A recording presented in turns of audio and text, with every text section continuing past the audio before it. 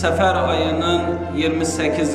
günü Hazreti İmam Hasanul Muştaba aleyhisselamın şehadet yıl dönümü ve de alemlere rahmet olarak gönderilmiş olan Hatemul Enbiya, Hatemul Murselin Hazreti Muhammed bin Abdullah sallallahu aleyhi ve aleyhi ve sellemin vefat yıl dönümüdür.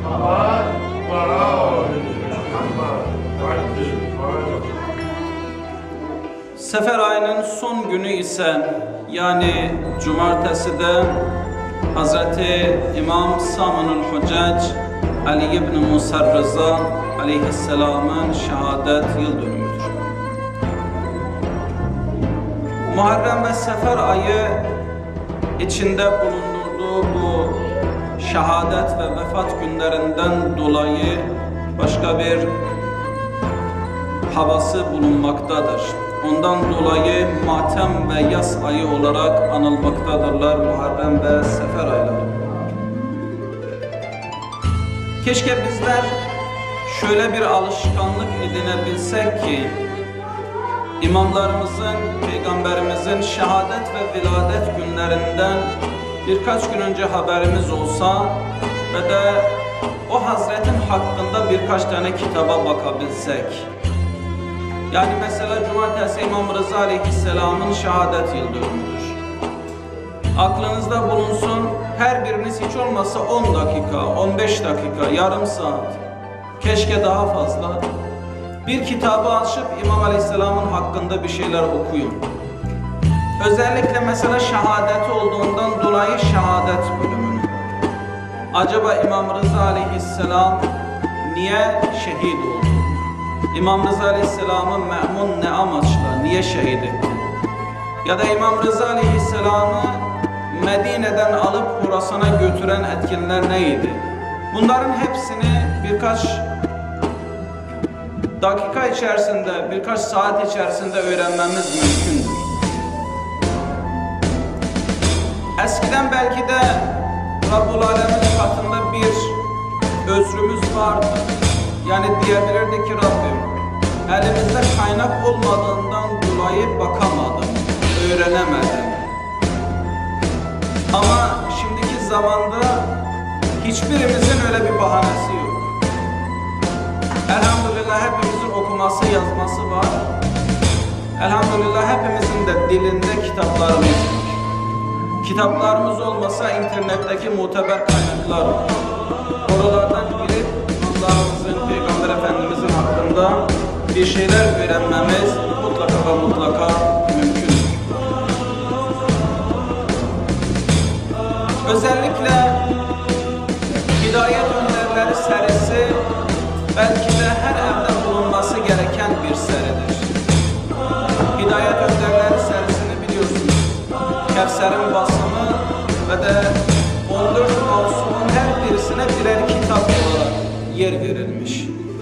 Yani bu 14 tane kitap bizim kütüphanemizde olduğu takdirde 14 masum hakkında çok geniş bir bilgiye sahip olabiliriz. Yeter ki kitaplığımızda bulunsun ama sadece tabii ki bulunmakla kalmasın, o kitaplar okunsun. O Hidayet Önderleri serisini alabilirsiniz. Kitaplığınızda bulundurabilirsiniz ve de tabii ki aldığınız takdirde okumanız şartıyla. Ayetullah Karaati İstanbul'da bize konferans vermek için gelmişti. Tefsir konusu üzerine. Onun da 10 ciltlik bir tane tefsir kitabı var. Tefsir-i Nur diye. Sağ olsun oradan gelirken her birimiz için bir tane tefsir getirmişti. Yani 10 cildi her bir hoca için, talebe için getirmişti. Dedi ki ben bunları sizlere hediye edeceğim ama tek bir şartla. Mutlaka okuyacaksınız. Yani okumasanız vermeyeyim size. Yani bu gidip kitaplığınızın köşesinde duracaksa almayın. Alın okumak şartıyla. Şimdi kitapları biz aldığımız zaman eğer ki kitaplığımıza bir süs mahiyetinde oluyorsa bunun bir faydası yok. Yani süs olarak faydası vardır. O başka mesele. Ama kitap durduğu zaman fayda etmiyor. Kitap okunduğu zaman fayda ediyor. Kitap okuma alışkanlığını mutlaka ve mutlaka kazanmamız lazım. Emin olun ki biz evde kitap okuduğumuz takdirde evlatlarımız da kitap okuyan evlatlar olacaklardır. Her şey anne ve babada biter. Yani ne kadar etken olsa çevrendeki arkadaşlar, dostlar, çevrenin kendisi, okul, iş yeri falan filan ama bir evladın yetişmesindeki en önemli etken ve de rol anne ve babasıdır. Ne kadar etken çok olsa da çünkü temeli veren anne babadır. Yani o anne ve baba bir evladın öncelikle ruhunda etki etmektedir. Hani bunca şey söylerler ya, İslam dini buyurur ya, evinize getirdiğiniz rızık, getirdiğiniz rızık mutlaka helal rızık olsun. Yani bu helal rızık çünkü çocuğun nedir? Sağlığında ve ruhunda etki etmektedir. Her şey anne ve babada bitiyor. Anne ve baba evlatlarına kötü şeyler öğretebildikleri gibi nedir? Güzel şeyler de öğretebilmekteler. Bunun en büyük destekçisi de Hazreti Emirul Müminin Aleyhisselam'ın o meşhur cümlesidir. Hazreti Aleyhisselam buyuruyor ki bütün insanlar kullu mevludun kullu mevludin bütün insanlar dünyaya geldiklerinde bütün dünyaya gelen insanlar İslam fıtratı üzerine dünyaya gelirler. Yani temelde dünyaya gelen her çocuğun fıtratında, ruhunda İslam ruhu ve de fıtratı vardır. O çocuk dünyaya geldikten sonra daha sonrasında hadisin devamında böyle vardır. Anne ve babaları onları Hristiyan, Yahudi yapıncaya kadar. Yani bir evladın Hristiyan olması, Yahudi olması nedir? Anne ve babanın elinde. Ve de Müslüman olarak yetişmeleri, İslam İslam marifinin onlarda etki etmesi de nedir? Yine anne ve babanın elindedir. Fıtraten İslam ideolojisi üzerine, fıtraten İslam üzerine dünyaya gelmiş olan çocuğun o fıtratını temiz bir şekilde devam ettirmesi de yine nedir? Anne ve babanın kendi elindedir. Siz eğer evinizde namaz kılıyorsanız, eğer kitap okuyorsanız, eğer güzel konuşuyorsanız, özellikle de karı koca birbiriyle güzel şeyler konuşuyorsa, emin olun ki evlatlar aynı şekilde olacaklar. Birçok evlada da dikkat edin, konuşması, oturması, küçük çocuktur o, 6 yaşında, 7 yaşında olsun. Ama konuşmasına, oturmasına dikkat ettiğin zaman biliyorsun ki kimin evladıdır. Aynı babası gibi ya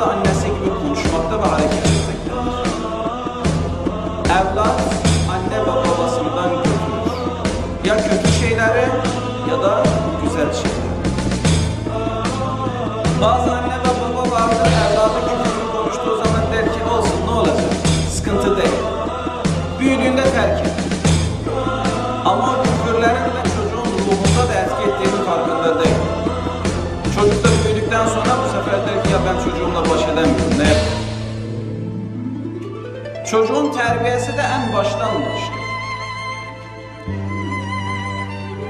İmam Hasan-ül Müşteba Aleyhisselam'ın annesi Fatıma Zehra selamullahi aleyhadır.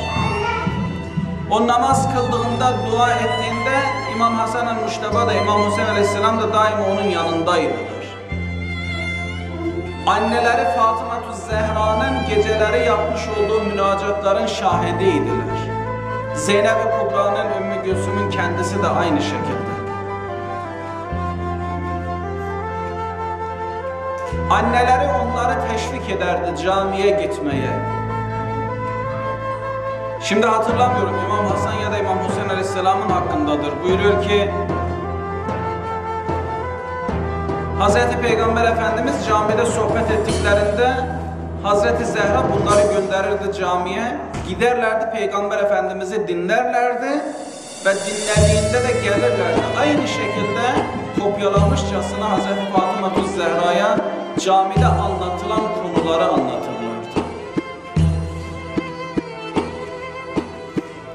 Bu güzel terbiyenin altında büyüdükleri için oldular İmam Hasan-ı Muştaba, İmam Hüseyin, Ümmü Gülsüm, Zeynep-i Kubra. Ki hayatlarının hiçbir zerresinde ki dünya hayatı bu kadar eksiklikleriyle artılarıyla bir gün insanın lehine bir gün aleyhine olan bir dünyadır. Dünya hayatının bu olumsuz şartlarının hiçbirisinde kendilerini yitirmediler. Tamam İmam Hasan ile İmam Hüseyin aleyhisselam imamdır. Onların konumu farklı. Ama Ümmü Gülsüm'ün kendisi de Zeynep-i Kubra'nın kendisi de bu şekildeydi. Zeynep-i Kubra o kadar yaşamış olduğu musibet ve de sıkıntı hiçbir zaman imanının azalmasına neden olmadığı gibi imanının güçlenmesine de vesile olmuştur. Ondan dolayıdır ki Zeynep-i Kubra'nın o meşhur sözü vardır. Yezid lanetullah aleyh Zeynep-i Kubra'ya eziyet etmek istediğinde Zeynep-i Kubra ne dedi? Ben Kerbela'da güzellikten başka hiçbir şey görmedim. Kerbela'da gördüğüm her şey güzellikten başka bir şey değildi. Ama kendisini yitiren birisi olsaydı ah edecekti, vah edecekti. Ama orada Zeynep-i Kubra o dönemin her anında insanları uyandırmak için, insanlara bir mesaj vermek için imanını kullandı. İmanının da katkısıyla elde etmiş olduğu yüce sabrını kullandı. İmamının da desteğiyle insanlara karşı ne zaman nasıl hitap edeceğini bildi ve de insanların da uyanmasına vesile oldu. Yani Yazid'in sadece Ehl-i Beyt'i bir hafta Şam'da saklayıp sonra da tekrar Kerbela'ya ve de Medine'ye göndermesindeki en büyük etkenlerin başında Zeynep-i Kubra'nın o insanları uyandıran sözleri bulunmaktadır. Öyle ki Şam'da Zeynep-i Kubra'nın, Zeynül Abidin Aleyhisselam'ın, Ümmü Gülsüm'ün bunların sohbetleri neticesinde Yazid o yapmış olduğu büyük hatayı Ubeydullah'ın üzerine yıkmaya çalıştı. Yani kaçacak delik arıyordu. Yani ben böyle olmasını istemiyordum. Ubeydullah kendi başına yapmış. Bu bahaneleri uydurmaya başladı. Yani o kadar etkili olmuştu Zeynep-i Kubra'nın sözleri insanların üzerinde. Böyle bir anneden dünyaya geldiği ve de böyle bir annenin terbiyesi altında yetiştiği için Zeynep-i Kubra böyledir. Anne ve babanın güzel terbiye etmiş olduğu bütün insanlarda, çocuklarda görebiliyoruz. Anne ve babanın güzelliklere teşvik etmesiyle insanlar başarılı yerlere ulaşabilmektedir. Gerçekten eğer ki evlatlarımıza, evlatlarımızın terbiyesini ihmal edecek olursak Allah katında cevap veremeyeceğiz. İhmal eğer ki bile bile yapıyorsak gerçekten de Allah katında cevabını veremeyiz. Onun için evlatlarımızın terbiyesinin çok çok önemli bir şey olduğunu hiçbir zaman unutmayın. Onun için evinizde kitap bulundurun. Kendiniz okumasanız da çocuğunuz bir gün merak eder açar bakar. Ya da teşvik edin. Deyin ki bu kitabı oku. Okuduğun takdirde sana bu kadar harçlık verecek. Kitabı oku, özetini bana söyle, özetini söylediğin takdirde sana bu kadar harçlık verecek. Bu hediyeyi alacağım. İmam Rıza'nın şehadet yıl dönümüdür cumartesi günü. Evlatlarınızı toplayın etrafınızda camiye getiremezseniz de. Bir yarım saat 15 dakika oturun İmam Rıza Aleyhisselam'ı onlara anlatın. Bu tür şeyleri yapmak kolay şeyler, yapılabilecek şeyler. Hem çocukların Ehl-i Beyt'i tanımasına vesile olursunuz, hem de nedir çocuklarınızla ilgilenmiş olursunuz. Hem güzel terbiye edilmeleri açısından hem de konuşabilmek açısından. evlatlar ile babaları, anneleri arasındaki bağı güçlendirmek açısından. Biz bu bağı bazen kopardığımız için artık evlatlarımız bizim sözümüze bakmıyorlar. Bizim sözlerimiz onlara acı gelir. Niye? Çünkü belli bir zaman sonra o evlatlarımız ile olan bağlantıyı kendimiz koparıyoruz. Bir şey demeye çekinmemizden dolayı, kendi başına bırakmamızdan dolayı.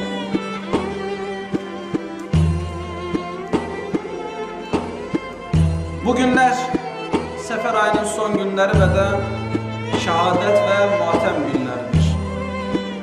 Hz. Resulullah sallallahu aleyhi ve aleyhi ve sellem Efendimiz 23 senelik zahmetler ile İslam dinini bizlere ulaştırdı ve de kendi sözüdür. Buyurdu ki gelmiş olan hiçbir peygamber benim kadar eziyet olmamıştır. Hz. Peygamber sallallahu aleyhi ve sellem özellikle Mekke'deki o 13 yılında bayağı eziyet oldu. Müşriklerin onları yalnız bırakmaları, sevdiği insanları teker teker kaybetmesi, özellikle ömrü boyunca unutmadığını ve de sevgisini açık bir şekilde buyurmuş olduğu Hatice'tül Kubra'yı kaybetmesi, Abdülmuttalib'i kaybetmesi bunların hepsi o Mekke'deki dönemde oldu. Medine'ye vardıktan sonra da yaşamış oldukları savaşlar en yakın dostlarını, en yakın akrabalarını, arkadaşlarını, kendi yanında olan kimseleri şehadetleriyle kaybetmesi Peygamber Efendimizin ne kadar mazlum olduğunu o son günlerinde daha da açık bir şekilde görebilmekteyiz. Yani kendi yanında olan Müslümanlar Peygamber Efendimizin kendi sözünü dinlemediler. Öyle ki o zalim döndü oradaki Müslümanlara dedi ki bu adam hastalığından dolayı ne dediğini bilmemektedir. Böyle bir tabir kullandı Peygamber Efendimiz. Oysa ki Peygamber Efendimiz öyle yüce bir makama, masumiyete sahiptir ki söylediği her şey vahiden başka bir şey değildir. Kur'an-ı Kerim'in kendi buyurduğu şekilde. Ve ma yentiqu anil heva in huve illa vahyun yuha. Peygamber kendi nefsinden hiçbir şey konuşmaz. Ve konuştuğu her şeyde vahiden başka bir şey değildir. Ama bu vahiden başka şey konuşmayan peygambere bile adam rahat bir şekilde diyebiliyor ki bu ne konuştuğunu bilmiyor.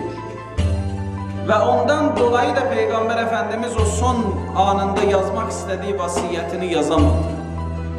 Ve eğer ki o vasiyeti yazmış olsaydı belki de bugün İmam Hasan-ı Müşteba'nın şehadetini de anmıyordu. Yani o gün eğer ki Peygamber Efendimizin sözüne bakılsaydı, Peygamber Efendimizin vasiyetinin yazılmasına engel olunmasaydı belki de Kerbela da olmayacaktı.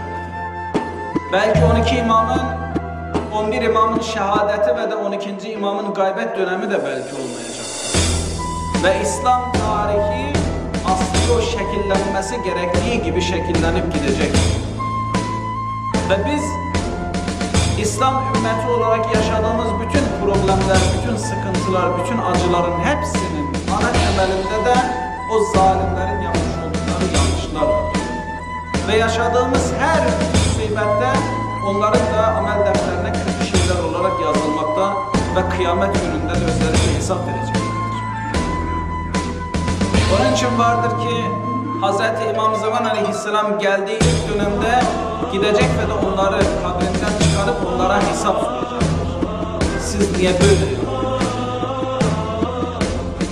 Çünkü İslam ümmetinin yaşamış olduğu bütün sıkıntıların ana temel noktası onların o zaman yaptıkları